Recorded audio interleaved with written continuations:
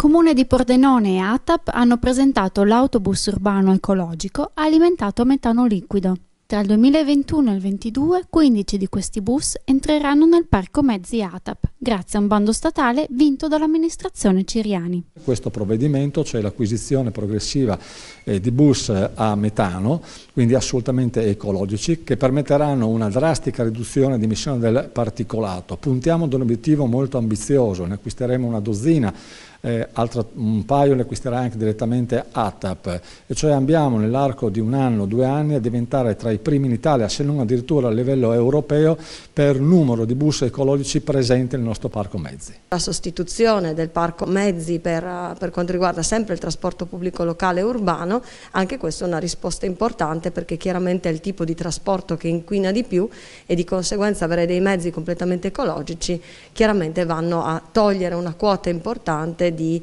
eh, emissioni nocive in atmosfera. L'operazione EcoBus non è l'unica nel campo ambientale. Questo è un provvedimento che si inquadra all'interno eh, di un percorso molto più ampio che il Comune sta svolgendo di politica ambientale negli esiti reali, nei fatti e non nelle parole. Ricordo il piano di efficientamento energetico degli edifici pubblici, 6 milioni di investimento che hanno permesso una riduzione dei consumi tra elettricità e calore del 18% e una diminuzione delle emissioni di CO2 di 724 tonnellate anno.